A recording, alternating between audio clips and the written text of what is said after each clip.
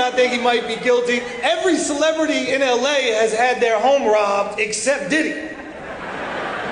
And I thought about it, it's like, bruh, robbing Diddy is terrifying, because what if he's there?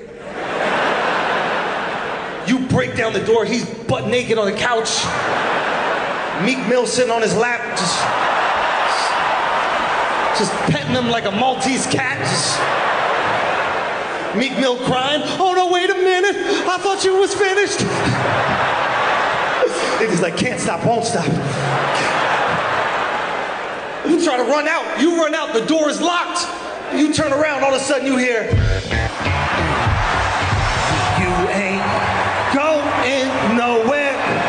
You ain't going nowhere. I can't be stopped now. It's your asshole tonight.